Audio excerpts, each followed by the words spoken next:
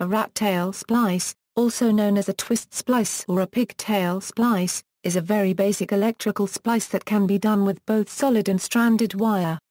It is made by taking two or more bare wires of the same diameter and wrapping them together symmetrically around each a common axis. The bare splice can be insulated with electrical tape or other means. This common and simple splice is not very strong mechanically. It can be made stronger by coating it with solder, or it can be twisted and then held in place by the internal metal spring or threads of a twist-on wire connector, also called a wire nut.